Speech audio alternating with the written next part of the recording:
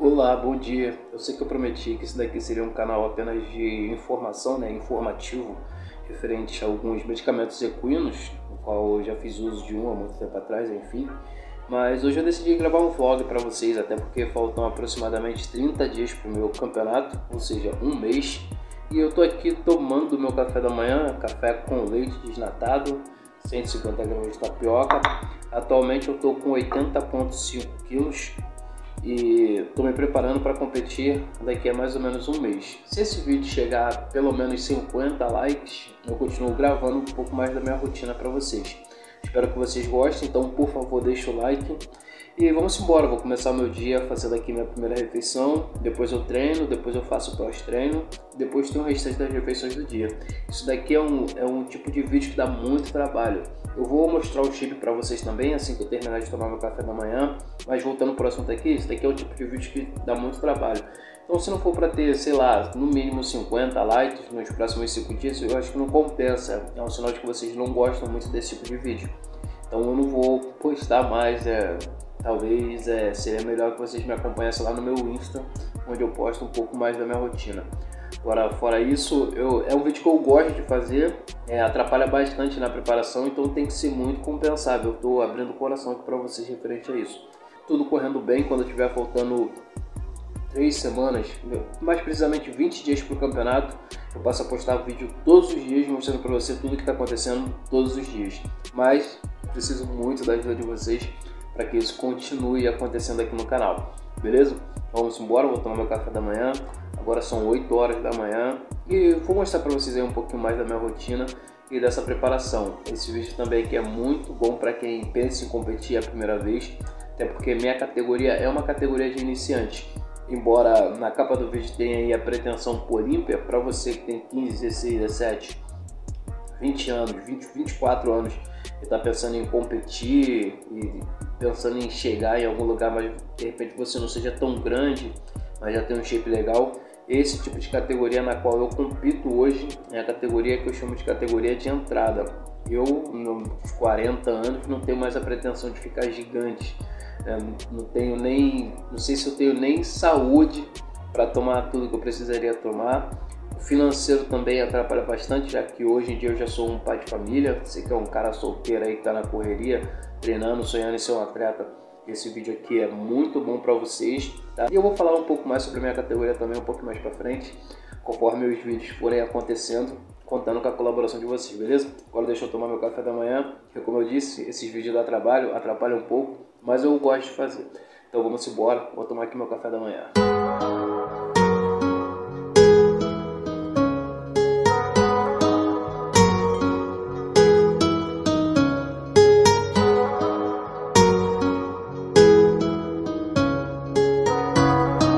Aqui no Rio de Janeiro, a minha categoria é conhecida como Body Shape ou Body Muscular. Tá? Body Muscular é para quem está um pouquinho mais avançado e Body Shape é para iniciante, iniciante mesmo. Acho que não precisa nem de protocolos de recursos ergogênicos para fazer. Como vocês podem ver aí, na teoria ela é como se fosse a Men's Physique, mas na prática é necessário mostrar as pernas também. As poses também são como se fosse da Men's Physique, Porém, como é uma categoria de entrada, é extremamente importante que o seu corpo seja mostrado por inteiro, pois futuramente isso seja determinante para a categoria em que você possa vir a competir no futuro. Beleza? Então vamos embora. Bom, então é isso, é o shape. Expliquei um pouco mais também sobre a minha categoria aí. Agora eu vou tomar alguns comprimidos que eu tenho tomado aqui de pré-treino, né? Porque eu treino de manhã, então vou tomar aqui, ó, Tadalafila, vou tomar é o multivitamínico. Então tomar esse daqui da Neoquímica, muito bonzinho, barato e bom, ser bem honesto para vocês. Eu tenho tomado também bastante cálcio, aqui eu tomo aproximadamente um grama e meio de pré-treino de cálcio. Isso daqui foi eu comprei um kit na FTW e eu acabei ganhando esse cálcio aqui de brinde. E é bonzinho também, eu gosto, cálcio é sempre muito bom.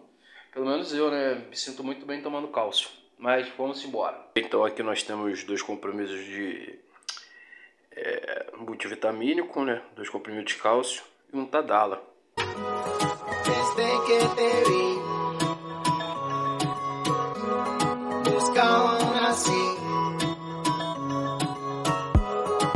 Agora tomar me arrumando aqui para ir treinar. Eu tenho uma tese referente ao treino, eu não posto vídeo de treino. Mas eu vou explicar para vocês no caminho. Deixa eu me achar aqui que eu tô procurando minha meia. Eu não acho, vou me arrumar aqui, eu vou treinar. E no caminho eu conto pra vocês essa tese que eu tenho. Por que, que eu não posto vídeo de treino aqui? Bom, eu tenho que dar uma passada na casa da minha mãe ali que ela operou o joelho.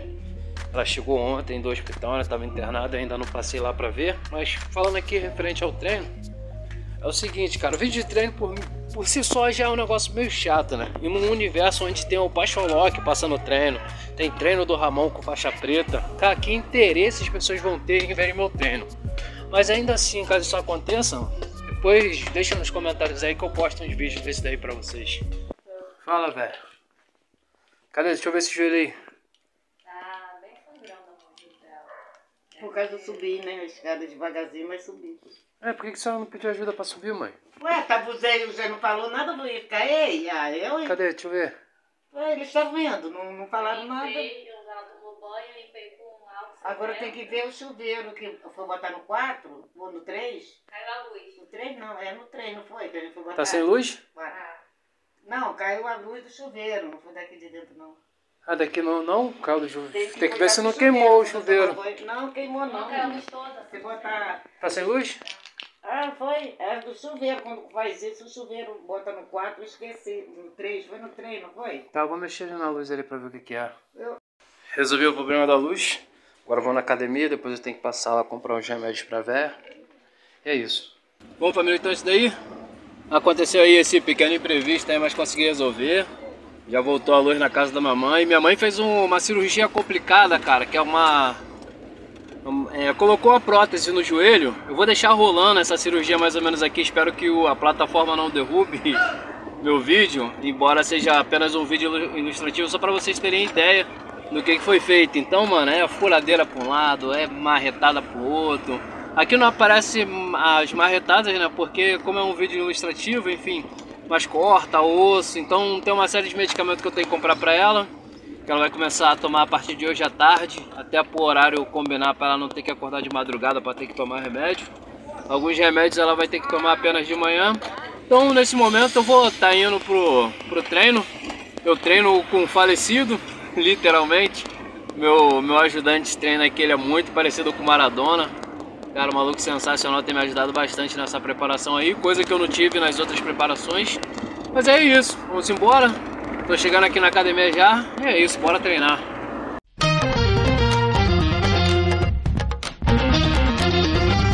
Ai ai, agora treino feito, correria total. Passar ali na farmácia comprar os remédios de mamãe. Pra casa, pós-treino, preparar as marmitas que ainda tem que trabalhar, filho. Vida de peão.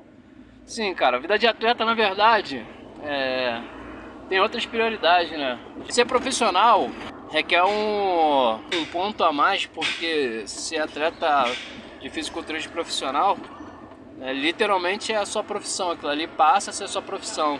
Já quando você é amador, mano, se você não tem um trabalho, se você não tem um corre, mano, é complicado de fazer tudo que tem que ser feito, tomar tudo que tem que tomar, comer tudo que tem que comer, porque custa, tá ligado? Leva dinheiro. Então, dentre as minhas prioridades, também está trabalhar. Então, vou ter que fazer o corre agora e a luta ainda.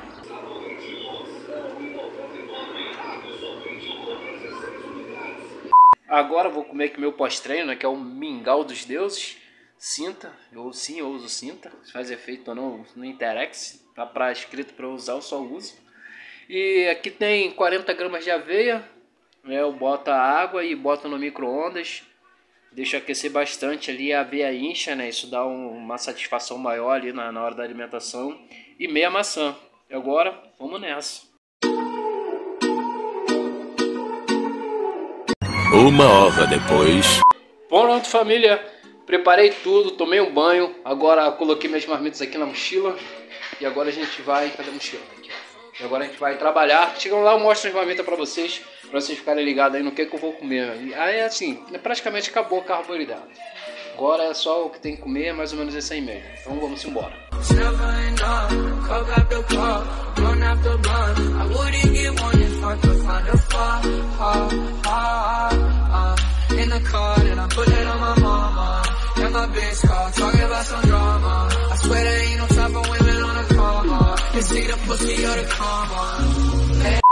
Bom, meu então é isso. Correria total. Da minha casa até aqui, quando eu venho de bicicleta, dá uns 5, 7 minutos. Na caminhada dá uns 15 minutos, mais ou menos, quase 20 minutos. E eu aproveito aqui enquanto o trem não, chega, né? na estação da minha cidade, onde passa o trem. E eu faço cardio, vou andando aqui pra cima e pra baixo, o deve entender nada, nada. Porra, esse maluco doido aí andando pra cima e pra baixo. E é isso. Agora também, cara, vou postar uma foto aqui bem legal, cara, que aconteceu. Esse amigo aí me, me segue aqui no canal, né? E ele decidiu competir também ano passado. O maluco tem um shape incrível, um maluco tenso, grande. Inclusive ele sobe na Classic enquanto eu ainda tô numa categoria ali de iniciante. Mas, pô, mano, é uma satisfação tremenda quando a gente encontra alguém assim que te seguia, né? Que seguia seus conselhos e tal. E agora, é um atleta praticamente de grande porte. Então, até tentei convencer ele a subir lá na, na NPC, né? O maluco tá com shape incrível. E é isso. Enquanto o treino chega aqui, eu vou andando pra cima e pra baixo igual um louco. Lá, lá vem ele, o cara de lata, ó. O bicho vindo. É, a estação tá bem cheia. Não sei se vai dar pra ver, mas cheia a estação e só fico caminhando pra cima e pra baixo. Simbora. Fala, campadinha. Então é isso. Cheguei aqui no trabalho.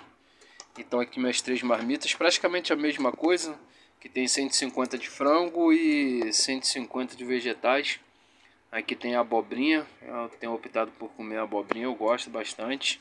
Se bem que eu já tinha feito algumas outras preparações com alimentações tanto quanto diferentes. Já fiz com brócolis a primeira vez, a segunda vez acho que eu comi bastante chuchu, né? Bastante chuchu como vegetal. E agora eu tô no pique abobrinha aí, vamos ver, né? E eu acho que é um pouquinho mais gostoso, mais saboroso também. Então é isso, galera. Tô cansado, cagado de fome, vou comer. Muito obrigado você que assistiu o vídeo aqui. Não esquece de deixar o like para que eu possa continuar trazendo conteúdo como esse aqui que eu acho deveras importante para vocês. E é isso. Tendo pelo menos 50 likes aí nas, nas próximos, nos próximos 5 dias, uma semana aí, eu volto a postar um outro vlog com as mudanças que a gente vai tendo de acordo com o que vai se aproximando do campeonato, beleza? Então é isso, tamo juntos. Até o próximo vídeo ó. É nóis. Deixa eu comer agora que eu tô cagado de fome.